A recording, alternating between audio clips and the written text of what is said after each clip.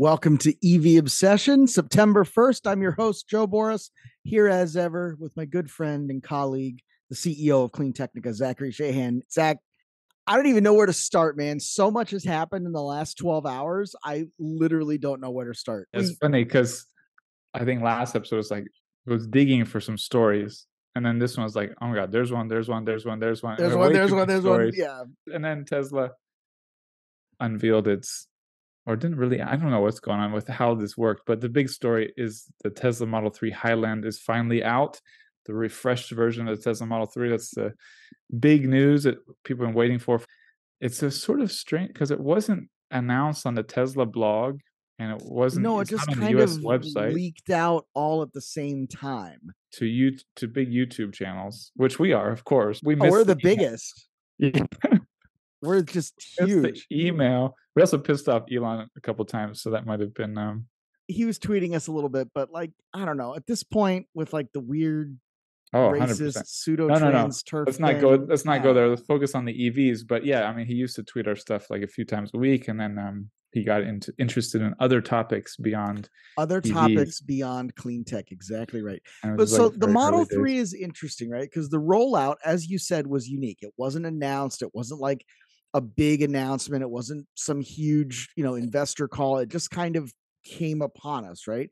Now, and, and I have questions about this because I don't really understand it. I know that we were supposed to get a lower price Model 3, and this is supposed to be significantly less expensive to manufacture, but is the price actually lower? I mean, this is just about refreshing the Model 3 a lot. They are bringing down costs a bit. They've they've changed 50% of the parts and that's more efficient but it's um i mean it's not the low cost tesla that's coming. That's not what you're talking about right? No it's not like the model c or whatever they were going to call that thing whatever, model yeah. b or 2 yeah exactly. No it's not that but i mean no, the idea I mean, was a $35000 model 3 at some point in history right? Well it's already below 40000 before this but i think it's I don't know. We'll see how it goes. Yeah, there's a lot here. there's a lot. There's to a lot to unpack. There's a so lot to unpack. There's not a lot that's updated, which is what's funny. But that, but there's a lot to unpack because, I mean, first of all, I think the Model Three has sort of struggled since the Model Y took over, and it didn't yes. drop, but it plateaued, and it went from being king of the hill to hardly mentioned and the Model Y has vastly, you know, surpassed it and taken yeah. over EV sales. But that has happened everywhere. That's an industry yes. trend. I don't yeah. think that's specific to Tesla. If you look at oh. Ford and you look at Ford's vehicle lineup right now, they have exactly one car. What yeah, do I mean by their, that? Yeah. Yeah, they have no sedans. There's no Taurus, there's no Fusion, there's no Escort or Contour or any other Ford that you might have remembered from the last 40 years. None of them exist. The only thing that is not a truck or SUV from Ford is the Mustang. And that shares so many parts with the Ranger, it might as well be a Ranger. And even the Mustang, there's a crossover version now. and even the Mustang, there's a crossover version. The market has gone away from the traditional sedans and coupes and hatchbacks that we all grew up with, or, or you know, everybody under 50 but over 20 grew up with, right? So real people. We're real people. Exactly. People, people, people who buy cars. Yeah, not not kids. They have no money. Uh, they never will. The way inflation is going and global warming. Back in my day, yeah, you're under 25, you're never going to own a car. Forget it. Just, this is a happy ray of sunshine. No soup for you. Yeah, maybe you'll pick one up in the climate wars when you slaughter a Gen Xer and take his keys. No soup for you. No car for you. Unless this you has really gone off the rails quickly. I like it. Uh, but I, again, I, I this is really interesting because there is a lot to cover here. So it's got a revised suspension geometry, which arguably is for a better ride, but potentially is more about reducing costs of manufacturing. It now has acoustic glass, which is something that a lot of people, myself included, complained about. I always thought the Model 3s were very loud, very harsh sounding. This is the number one biggest problem with the Model 3. I have one for four years, and I've talked to people who have and who don't have, and across the board, if you've spent time in one, you know the biggest problem with the Model 3 is as loud as F. It is on the interstate, on highway, on fast roads, even on slow roads that aren't just aren't quiet. So it's the number one problem they had to had to fix, in my opinion. Like yeah, and I think problem. they did a good job with that. They also upped the number of speakers from 14 to 17 up front, which I think also speaks to the fact that they understand they needed to do some noise cancellation, right? So now you have more sound a little bit, and and the audiophiles always love the Tesla sound that's something that I recently became aware of in the last like six months that Tesla people are like really excited about their audio systems. You know, so that's interesting. We talked about that once, and I think we did. And I've been like you went on, into you went in looking into. It. I did yeah. I was like, "There's no way." Like, no, no, no. Bowers Wilkinson, well, that's the way to go. This is well. You said one thing that I would like you to talk about a little bit more. So, you know, in the announcements, they highlight all the stuff that's better and improved and upgraded.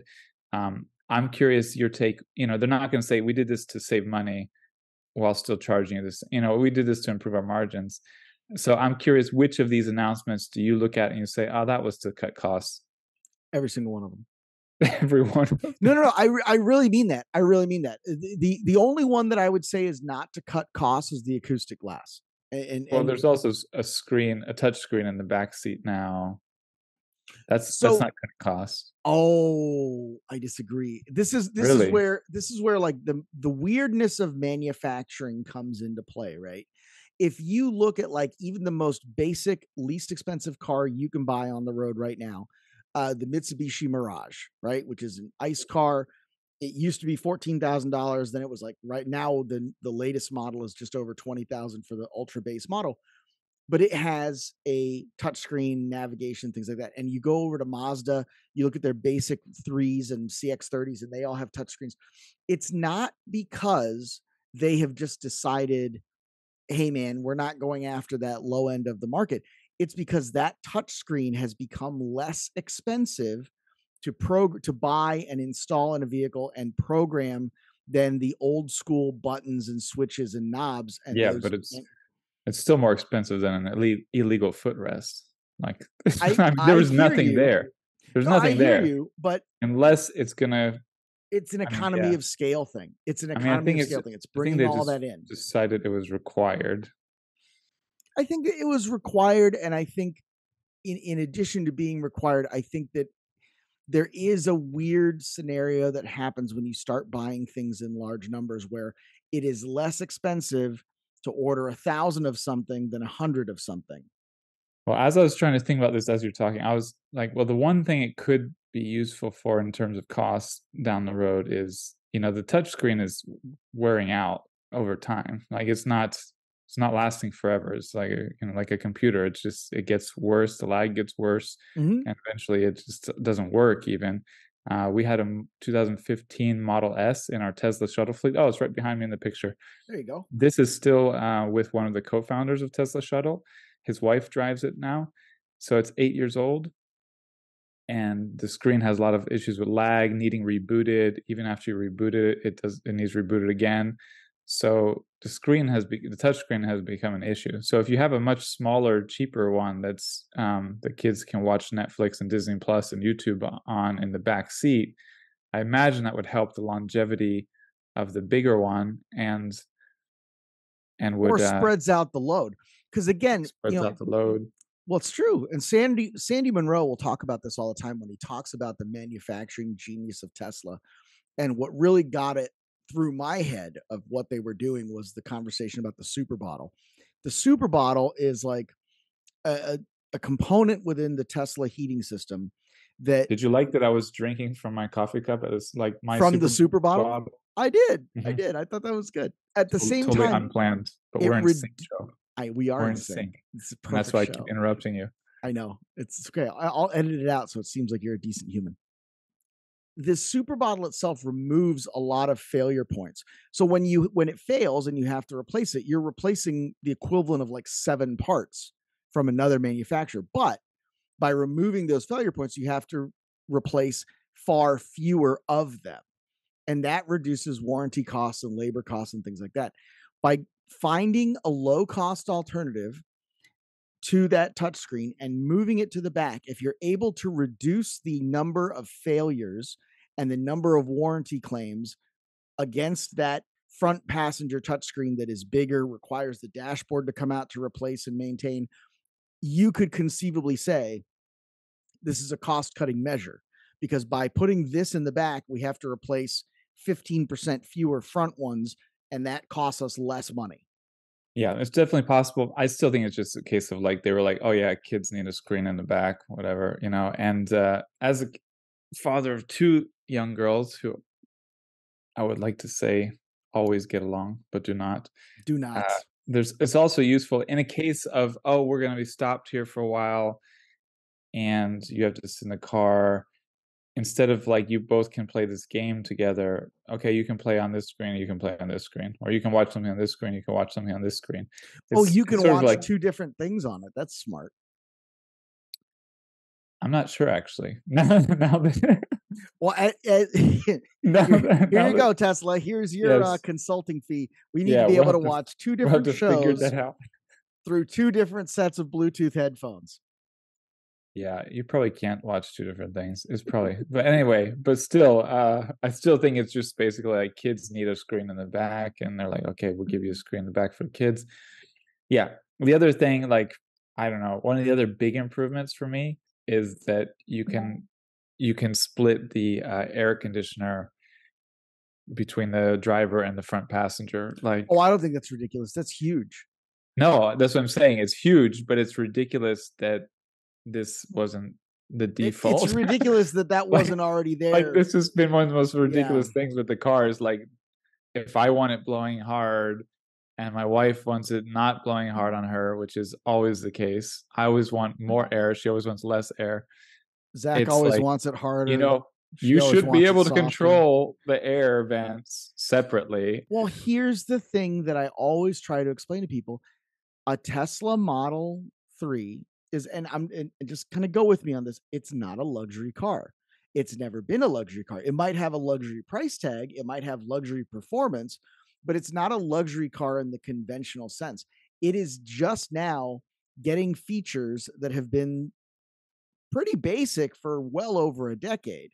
But that's not even a luxury feature. This is a basic, basic feature. In, but they in, did something yeah, with the air vent. They I don't I still don't know. I mean, they did. They did. They made the air vent. The they figured it out, and they did what they wanted.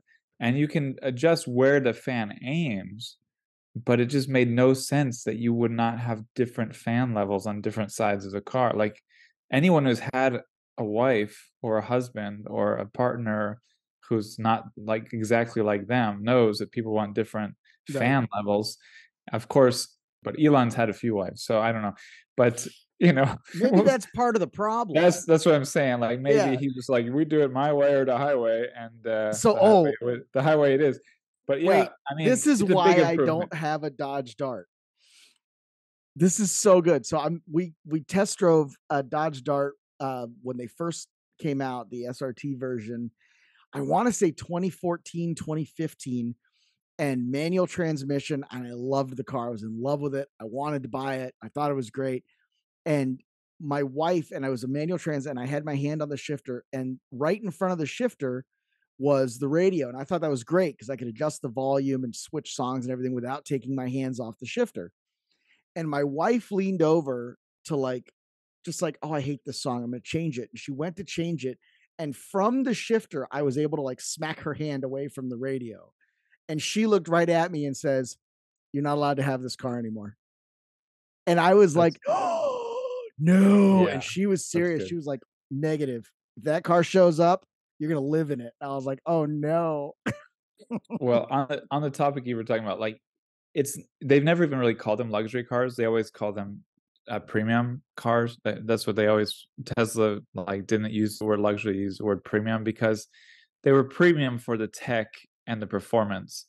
They were not luxury because they don't have massage seats and fancy stuff like that. And they were minimalist because one, it saved money, and two, Elon's minimalist. Um, it's good that they're adding some features, they're adding some stuff, they're cutting costs in other ways, but I don't see it. the The overarching thing that I almost said right at the beginning, I don't see it as a huge dramatic up upgrade or refresh. And I think that's been the question: How big is this refresh going to be?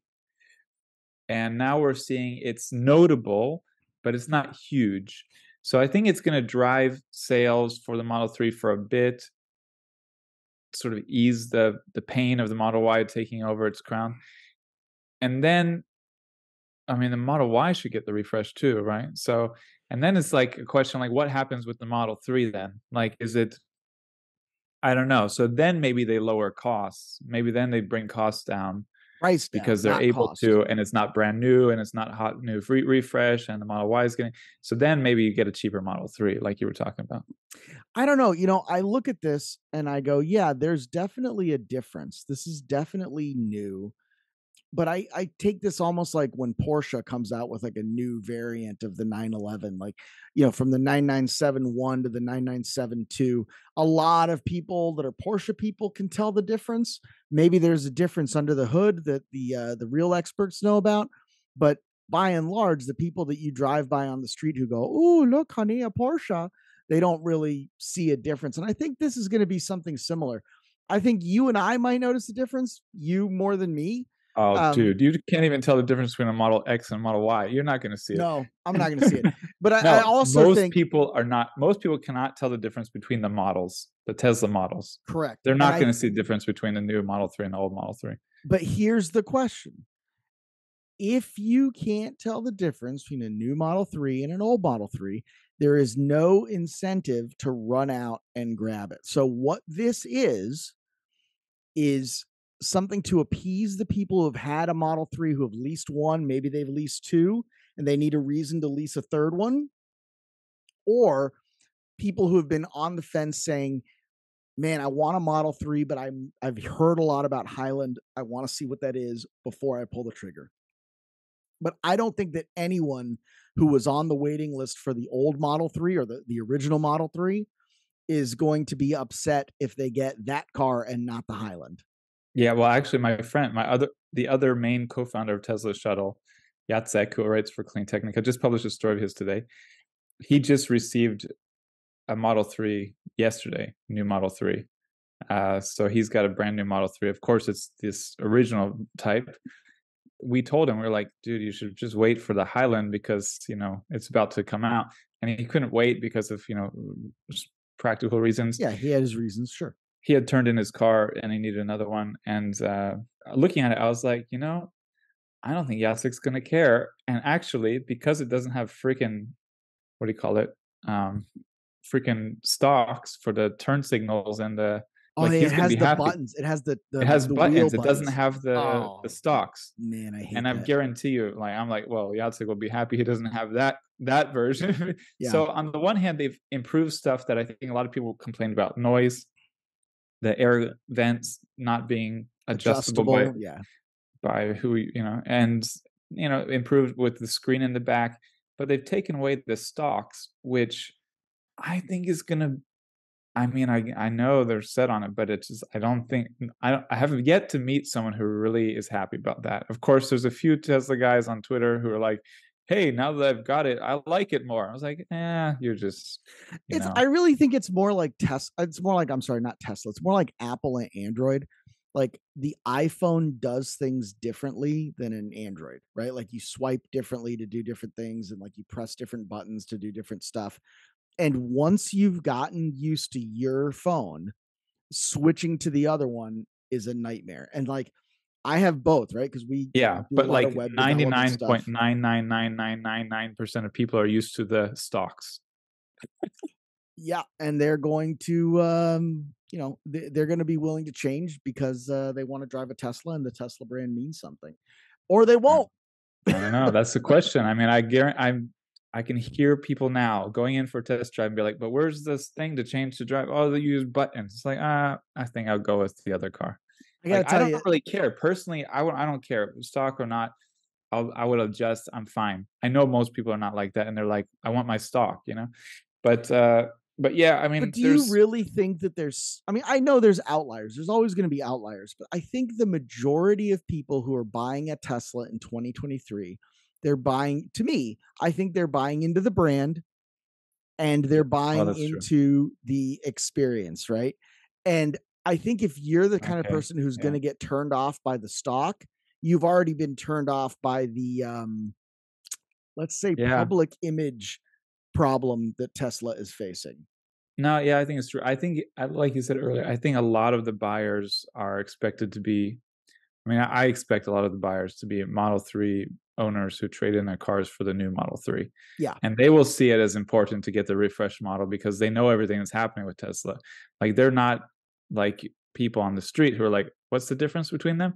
You know, these people are like, "Look at all these differences. Look yeah. at all the." You know, so I think they're. I think that's a, a big target I think there's just a case of they had to fix stuff that want to keep it competitive because you can't yeah, get away with when you're the first kid on the block and you have the only electric option. You can get away with some things because you're delivering a product that no one else has. You have an electric sedan.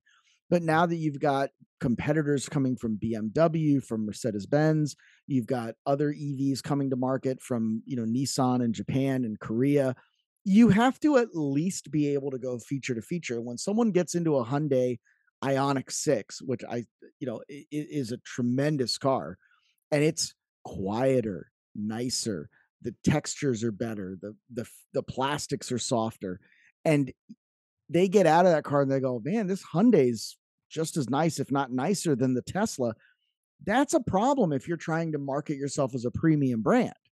So I, I'm glad that they did it. The other thing that's interesting here is, and I want to touch on this idea of change for the repeat customers. I have a Volvo XC90. I this is my third Volvo XC90 because they came out in 2015 and we got one in 2016, 17, 18, 19, uh, 19, 20, 21. We got this one in 21. It's really going to be hard to justify getting a fourth one of these things. And like, yeah even though I love the car and and I love the brand and I love what they're doing, like I really don't want to buy a fourth one of these or at least yeah, a but, fourth one of these things. Like give me something new. But think about this with the history of Tesla too. I mean, they've all of their sales were conquest sales for a year for the past several years. I mean, like sure. Of course, there's a lot of guys, a lot of people who have bought their second, third, fourth Tesla, but there weren't that many Teslas on the road. Like as like their sales well, there's more Teslas than Volvos, which is wild. Yeah, yeah, but there have to be they have to be new buyers for for for years, and now they're getting to the point where they have to re- get repeat buyers. I mean, they need not just. That's a I mean, they've point. always had a high percentage of repeat buyers, but it's just from a from a very low base. Now they've got a higher base, a more mass market base, and they need to find a way to get yeah. those people and to, re- more to buy another one. And they need to sustain high sales levels. They need to grow 50%, you know, every year. That's a that's a big this is a big target. When you're talking five, half a million Model 3 sales a year, and you need to find a way to repeat that and grow that, you need to find a way to get current owners to trade in their their Model 3s right. and get new ones. And, and so I think that's a big part of it. You need to find reasons for people to buy a new one and not just buy a used one that's off lease. Yes. Yeah, the competition. So the Hyundai Ioniq 6, this is a hot vehicle. People Gorgeous love car. this. Everybody loves it. I know. We can talk about it. I mean, what does it have this? Can we not? Because I got 3? the five and I should have waited and I'm bitter. I love the five. Look, I, love I, love the, five. five. And I see every time I see it, I'm like, I love it more. I love the five, Ioniq five. Yeah. But I mean, we could talk about the five, but the six is like more of that the Model Three style, sporty. I agree. It's more sedan uh, style. And I mean, you, you tell talk in a minute like what's how it competes because it actually competes with the Model Three, and there's other vehicles that do now. So Tesla's really in a pickle because they actually have competitors for once. And even like two years ago, I saw a guy with an Audi e-tron at the park, and I was like talking to him, and and he was like, "Yeah, I did a test drive with the Tesla. I thought about it, but it just was so loud, so I got the the e-tron much quieter." I'm like, yep. yep. it's like, yep. That is that is one very valid reason. Yeah. A lot of Tesla fans would be like, but the range, but the efficiency, but this, mm. but that. It's like, yeah, but people want to drive in a quiet car. And I mean, there's other reasons to buy cars than reasons to buy the Model 3. So, I mean, talk about what the Ioniq 6 has that makes the Model 3 say, hey, I need to pick up the pace again. Man, I would just say that it it feels like a premium luxury car. You know, it, it's when you get in it, like I'll say in the back, right? Because like my primary experience with the Tesla Model 3 is not from ownership, it's from riding in the back of them as Ubers and Lyfts, right? And they feel very cheap to sit in. The seats are not that nice, the leather is not that nice. The plastic is very hard and thermosy, an igloo cooler kind of the level black of glossy plastic. Everybody's hated So it for bad. years. Yeah, Elon Musk nothing like it. fits. You close the window, you know, you close the door, and it just feels like, you know, like when you, it feels like you're getting out of a 1988 Oldsmobile Cutlass and someone just slammed the door. It's not a quality experience. It's not bad, but it's not good either. When you get into the Hyundai, it is noticeably quieter. The plastics are noticeably softer. You can adjust the AC to yourself. When you're going down the road, you don't hear the tires, you don't hear the wind. It is truly a quiet experience. And I will say this that, and this is specific to the Ioniq Five because I, I I haven't driven the six um I, I for any kind of appreciable amount of time or eh, or on any kind of roads, just kind of around a little parking lot. Oh, so you have experience. driven one a bit. That's nice. It's a little. I mean, you know, Just you know how bit. those things are. You go around yeah, the yeah. park, and they're like, "Oh, you turn left here," and you know, it's the auto show kind of deal, and it's it's fine. You get to you get to feel whether or not you're comfortable, but it's not the same as driving the car. The five, I have some real experience with, and the five feels minimalistic. It has a very similar sort of clean styling. It's not brutally minimalistic in the way that I think the Model 3 is. Um, it's not a brutalist kind of styling. It's it it's kind of to me the difference between like Star Star Trek and Battlestar Galactica. Like Star Trek is like optimistic. We figured it out. The future is light and clean and airy. And like it's not like these hard black angles and like weird red lights and everything, which is a different vision of the future. And and they both are minimalistic, they both are uncluttered, but one feels kind of fun and playful, and the other one is just like stark. There's so much, so many things coming to mind. Well, there's even con- more Tesla news. The Model S and the Model X got their prices dropped, which, Yeah. to your point about Tesla having to find more buyers, this is a demand lever. You're pulling the levers, you're trying to goose demand and get more sales by reducing the price. The Model X is now inexpensive enough in terms of MSRP that it qualifies for the full $7,500 tax credit.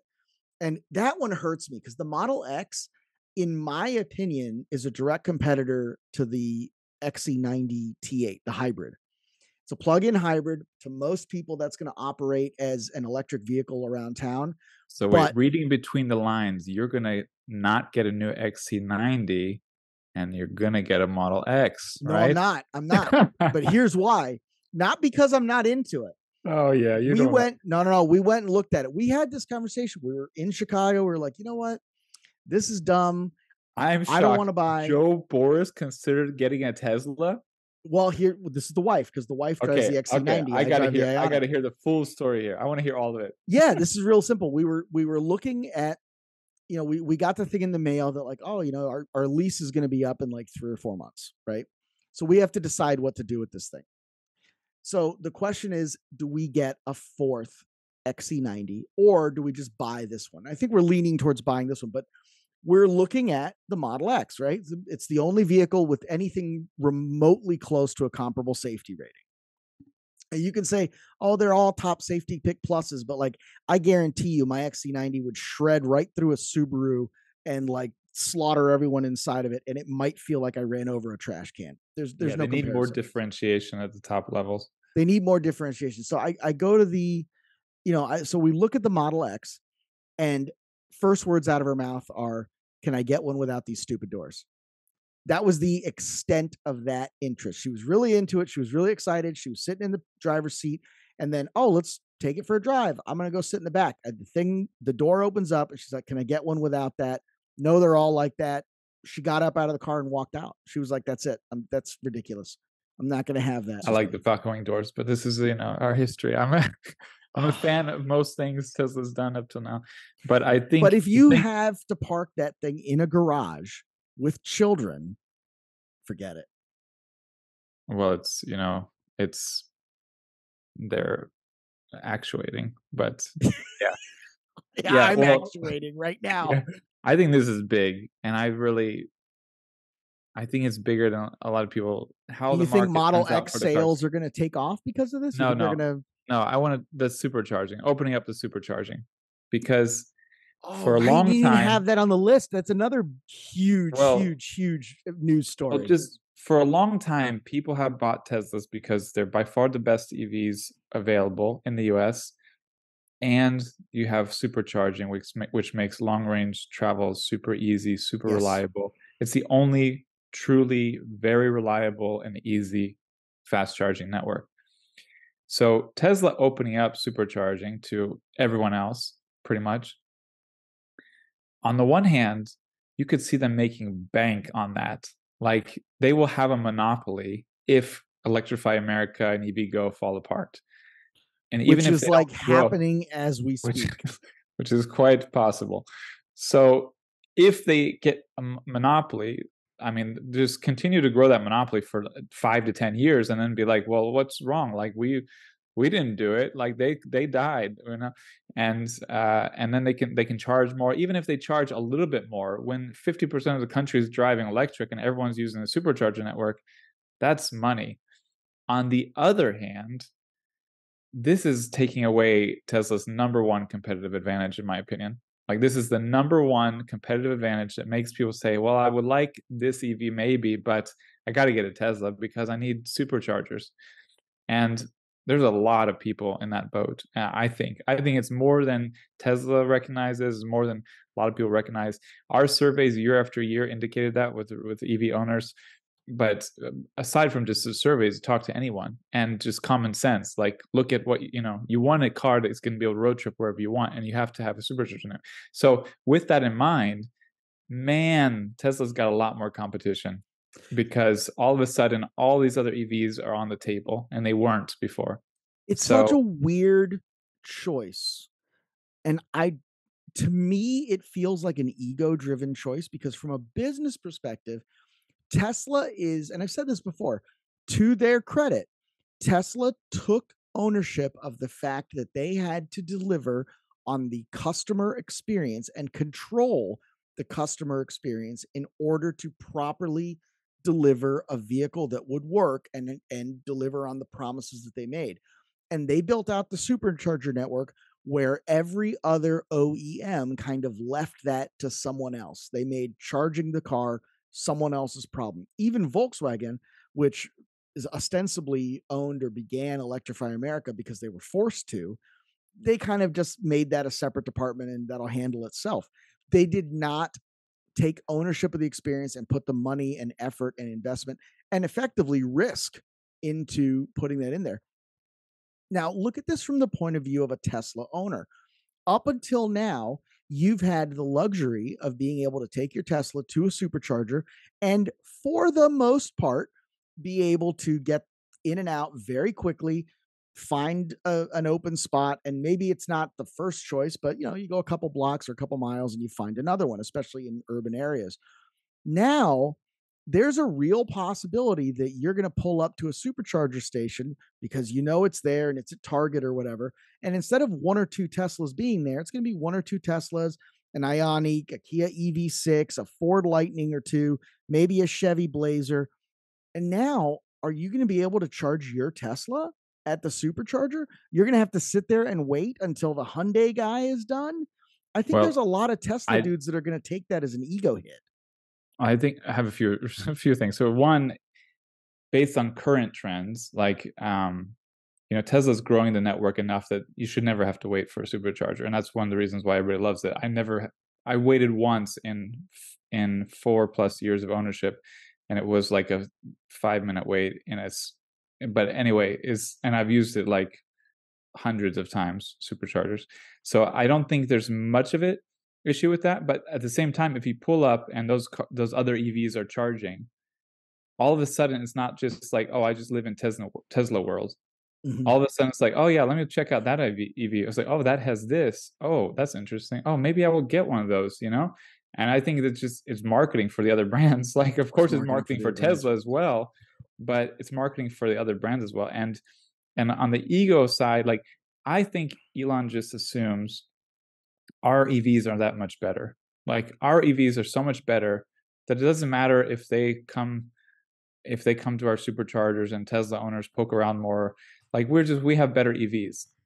I think that's what a lot of Tesla fans think. Obviously, if you're a fan, if you're an owner, you like that. But I think it's not I think the differences in range or in this software or in that are less to a lot of normal people than a lot than Elon assumes. I think a lot of people they will like this little quirky thing about the Genesis or the the oh. Ford Mustang Mach-E or whatever, yeah. and they'll be like, "Oh yeah, I think I want that EV next." That I, GV80. So, oh man, that's a car, brother. But, wow, is that a yeah, car?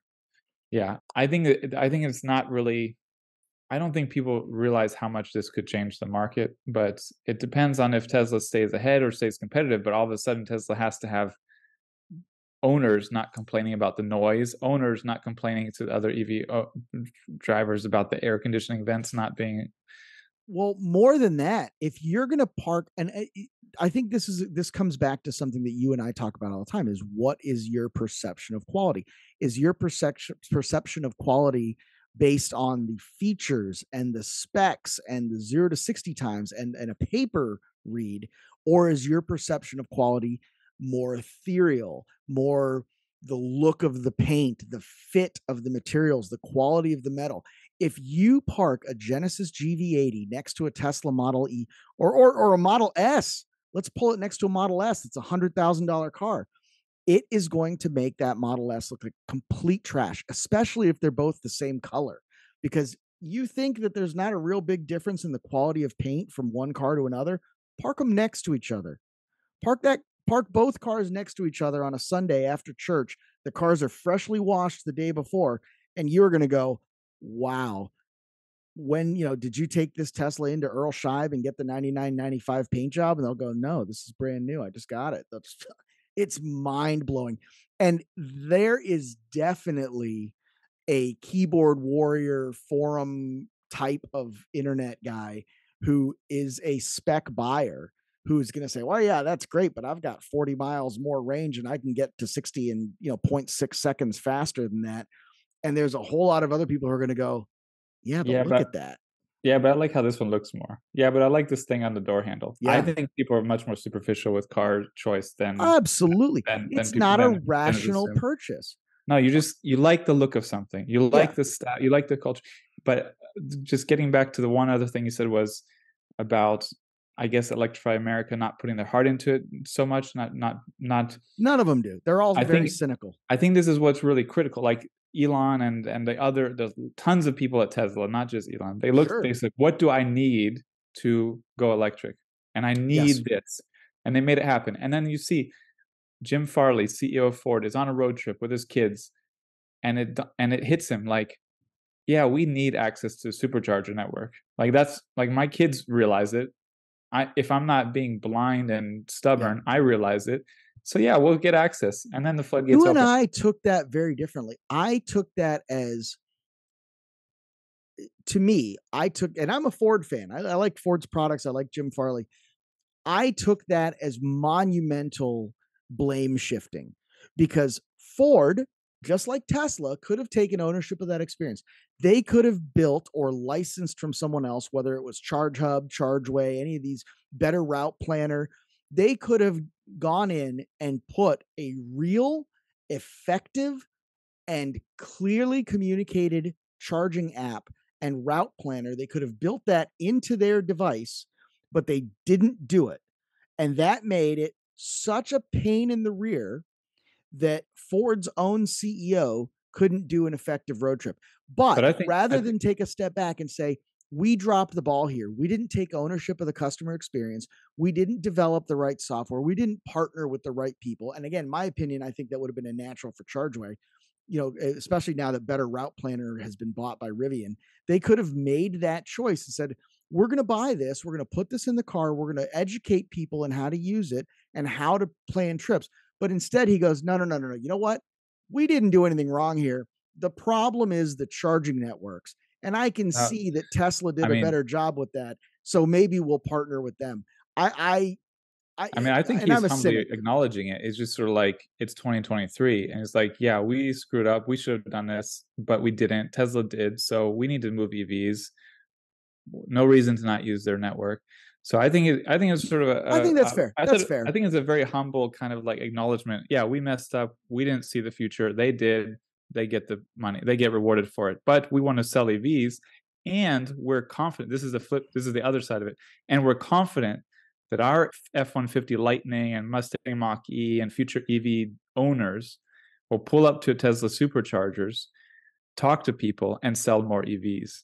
Yes. I think that's part of it. I think he also says, okay, well, this is where people are. This is where 60% of the EV market is in the US. And we need it to sell more EVs. And our EV owners will get more EV owners when they pull up to a supercharger and talk about how great their EVs are. And I think I think he's right. I mean, I think that's part of it. I think that's what's yeah, going to happen. No, let's, perfect let's way of saying that. So let's move on. Now that we've talked about the expensive Teslas and the cheap Teslas, now we've got the cheap Fisker. So Fisker showed off the Fisker Pear a couple of months ago at the Investor Day. Tesla famously teased us with a $25,000 Tesla that never materialized. Fisker did the same thing. Now, Fisker, you would think, with far fewer resources, far less experience in actually manufacturing vehicles, would be less likely to deliver on that promise of a $30,000 entry level crossover. But here they are. It's September and they are sticking to their guns. They are adamant that this thing is coming and that it's going to start again, not with all the features, not with all the bells and whistles, but it's going to start at 30 grand. And like, I don't know. I at, at, the same time as I don't see a market for the ocean at all, I think this is kind of cool. It's got a little bit more of a funky visual vibe. It's got some neat stuff going on with a front bench seat, which I love. Totally brings me back to my childhood. And I think that this is something that's unique enough in the market that doesn't really have a direct competitor. It's a little boxier and funkier than the Model Y. I see this as taking a lot of business away from like the Jeep Renegade or the Bronco Sport that don't have electric options. And uh, I, I I see it playing in that space. Maybe the maybe the the little tiny Toyota or I'm sorry Honda HRV, but like even not that. I see it taking a lot of that business uh, of people who are just looking for an A to B appliance that they can fill up at Costco and transport two kids, I think it'll be great, especially if they can keep it at that price. Yeah, I 100% agree. Everything you said, Fisker designs really attractive vehicles. I think even Fisker haters acknowledge that. Uh, I've, I've, met many Tesla Are there fans. Fisker haters? Oh, there's there's bad blood between Henrik Fisker and Elon Musk, and there's a lot of Tesla fans who, who are like very negative blood around Elon. Negative on Fisker. Plus, Fisker sort of failed a few times, but uh, but it, this is like his fourth. This yeah. is his fourth startup. But I think everyone, even who's critical of him and uh, the history, like they're like, yeah, but he designs really attractive vehicles. And again, it's a really attractive vehicle yes. at a price point that's really compelling. It's it's July 2025 is the target date for deliveries, so we're a couple years away so I guess yeah. it's a safe. It's maybe a safe bet that that's where the market will be, but I still think it would find buyers because of the the design. I mean, it just looks cool. It's got yeah. There's like the Nissan Juke. It sort of like competes with that. I think them, the Kia Soul, uh, it, it could eat into that market. I, I think the oh, yeah. Jeep market is the biggest. I'm not sure how well the uh, the name will catch. I mean, it's not the most uh, the Pear. Yeah, I don't know. I mean, it's uh at least they didn't call just it a bit soft, but it's but at the same a little time, soft. Yeah. Are they playing off of Apple? Like, hey, you have Apple stuff, and here's a pear. I don't. I mean, again, Fisker's a, a question mark. I mean, will they be alive? Will if he if Fisker's alive and it's been doing all right, I could see this being a a, a big monumental vehicle for the for the brand. Yeah, I mean, this would be a this would be the model that I think really has potential to to make or break them and and not make or break them like they're gonna. Uh, I think they will go away if the Pear is not a success, but they're, they're not going to be a Ford or a Toyota or a Chevy. But I think that they could replace Mazda if Mazda doesn't get their act together, or replace Mitsubishi in the United States if Mitsubishi. You know, eh, Mitsubishi is such a heartbreaker, man. They make such great products and then don't bring them to the U.S. What are you doing, man? Yeah. Well, let's go. We we're like we we filled up our time with the big Tesla news, but but let's go through a few more stories before. Uh, yeah, I mean, we can jam right through them. Mini has. I actually had like five stories. You have five you, more on top of no, my. I had five? like five that I put in there first, and then you just like put in yours and made the topic list, and mine are gone. I didn't even see yours. Le- legitimately, well, I didn't see yours. No, no, it's fine. I just think it's funny. But well, let's get to the yeah the next one on yours are probably mini, boring. The mini anyway. family EV. now mine no, I'll okay, I'll just give a little background. So mine are about electric trucks, solar powered electric trucks, um, electric school buses, and stuff like that. So I think we can push that to another episode. Yeah. Uh, well, I think I so I, I want to talk about this just because you mentioned it and you gave me an opening and I thought this was really cool.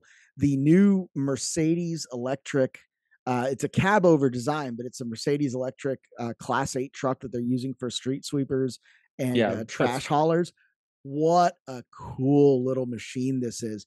If you look at it, the chassis, all of that stuff, a lot of the tooling is the same as what Class 8 people or Class 8 drivers are, are used to driving right now. A lot of the suspension is the same kind of thing, but it's built almost in a hardware agnostic kind of way. So, what does that mean? What that means is you could yoink out the EV bits and the battery bits and drop in a fuel cell or you know yoink all of that out and put in a you know a, a, range extending generator on one half of it and they don't really publicize that that's not really the push for them but they've built this in a way that they can keep churning these out for the next 15 or 20 years and regardless of which fuel whether it turns out to be electric fuel or hydrogen uh, ends up being the big winner in that heavy truck market. This truck on that same assembly line with very minor changes can still meet those needs and and kind of come to market. And they've designed this not for the fuel, they've designed this around the fuel, which is really really smart and kind of makes me understand why they just conquered Formula One and every other form of racing they get into because these are really smart people we're talking about. Yeah, and they they did really well eh, with trucks and truck sales in Europe to dominate. Mm-hmm. A big big player there. Uh, but yeah, it's a really cool looking truck too. I'll just, just put it out there. I know this is not this is not a market where it looks cool matters. I think, but um, I oh yeah, it does. I think it's absolutely.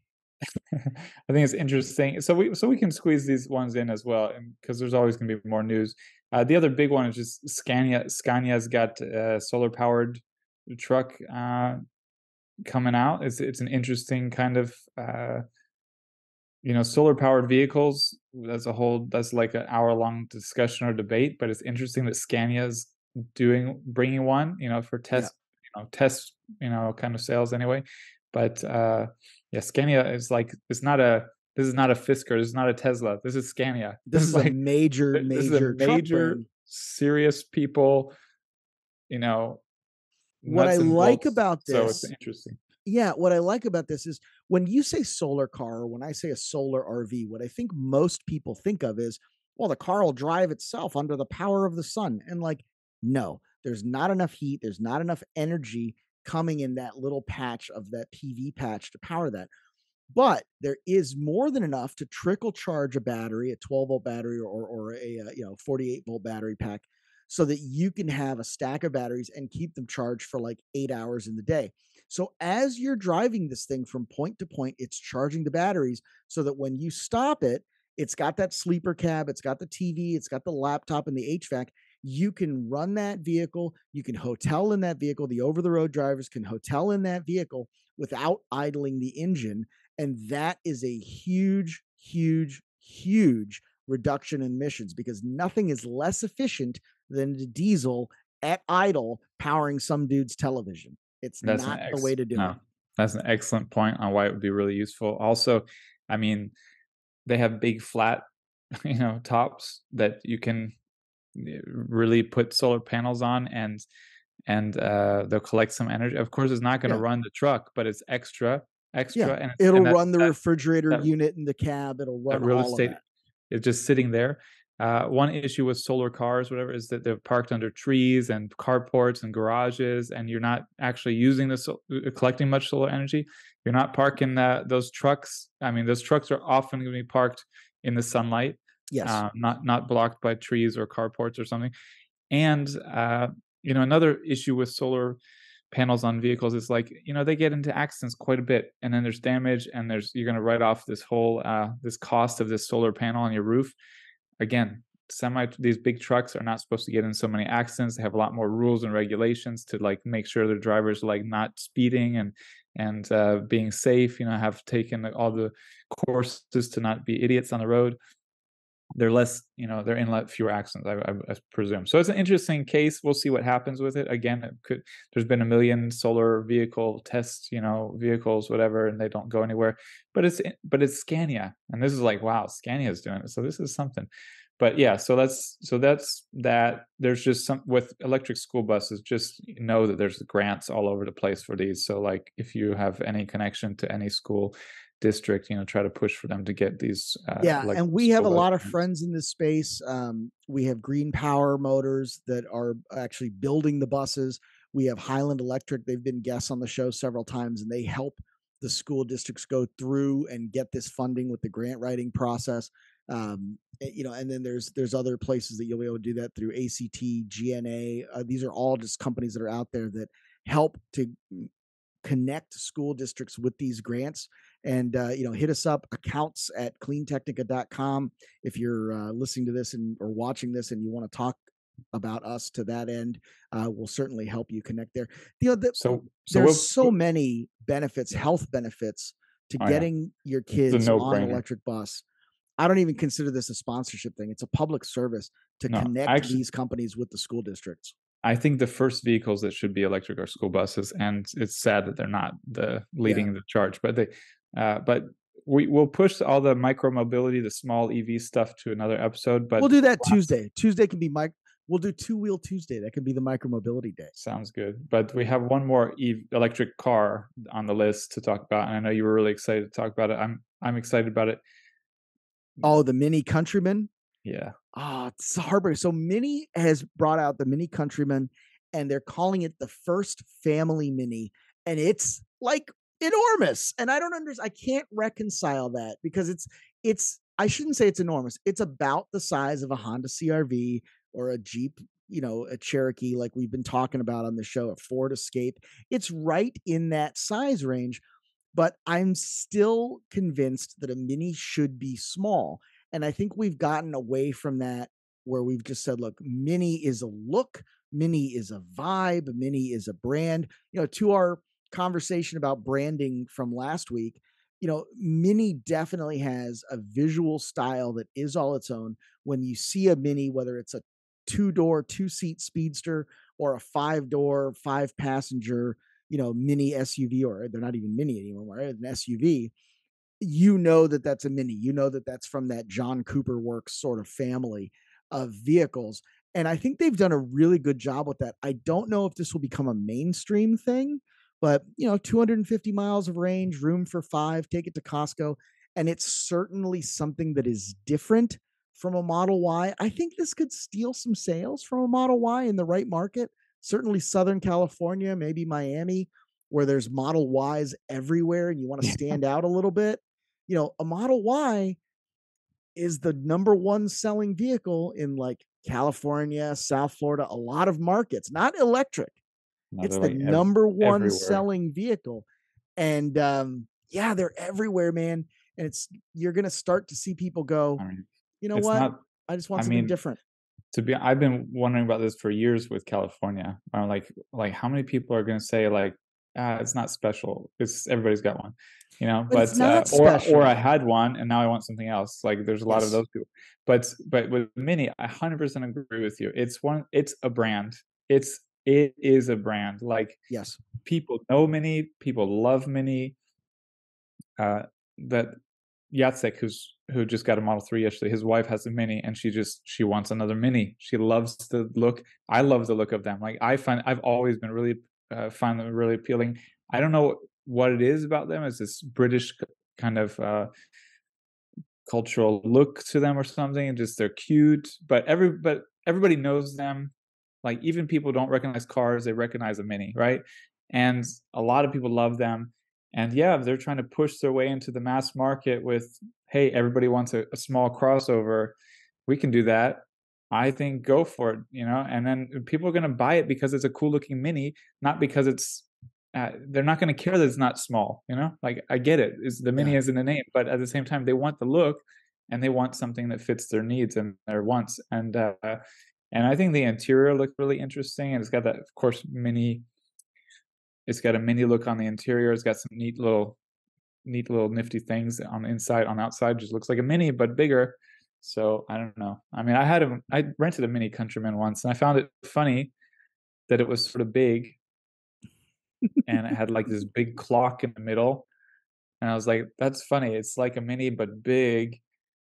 And I was like, "But it's still a mini, and I like it. It's cool. It's fun. It wasn't like the best vehicle in the world, that's for sure. But I think an electric mini Countryman could definitely find a lot of buyers. I I think is interesting. Uh, as long as it's not wicked crazy expensive for the range and stuff. And that's the problem with the first mini electric, is the range sucked and the price was really high. It was like, well, you're yeah. not buying it for that. Nobody's going on a road trip in a mini, dude. It's like saying, "Oh, I wish my Miata had a 16." But it's got to be decent. Gas tank. Yeah, it's got to be a decent trade off in price and range. Like it can't be too too off the off the mark. I think you're probably right. All right. Well, I think we're done for today. That's probably a good show. We're certainly well past our time commitment. Uh, definitely hit that subscribe button. We're going to start having these as audio files on Spotify, Apple Podcasts, all that good stuff. Zachary, any uh, final thoughts here? No, that was a lot to cover. I was like, I was. we still haven't even covered it. Tune in Tuesday for more. Yeah. All right. I think that was good.